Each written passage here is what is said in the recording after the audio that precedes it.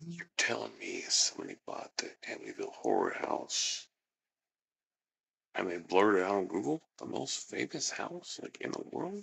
One of them? Why would you blur it out? Like we know what it is. You're not hiding it. That's crazy. Imagine being that neighbor. Does it have reviews? That'd be crazy. Hmm.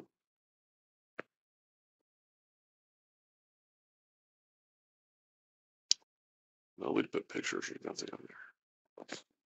Shame on them for hiding it on Google. That's crazy.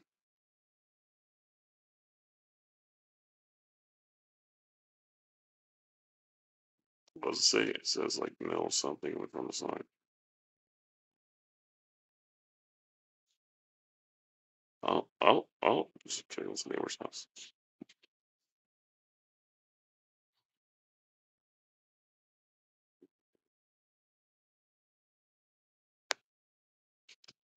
We're doing too much. It's way too far. Well, we have a little red car. This is 20, 2020. What the?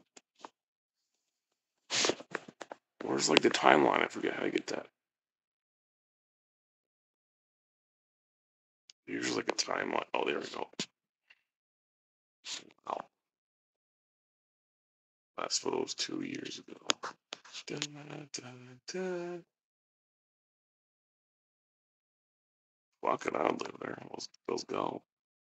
It's probably hell cheap. I mean, the second owner bought it for eight thousand back in the day. It was for sale seven years ago.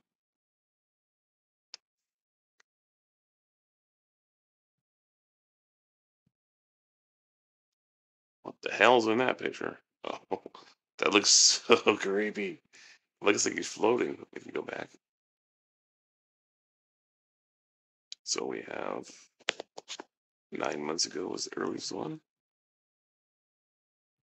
Two years ago. Two years ago.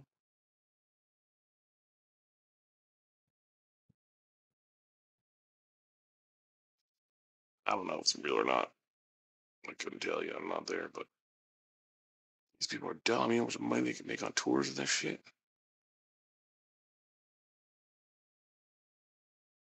That should be an Airbnb for sure.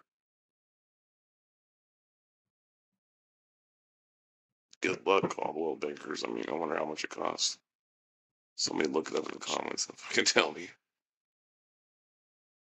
That's crazy.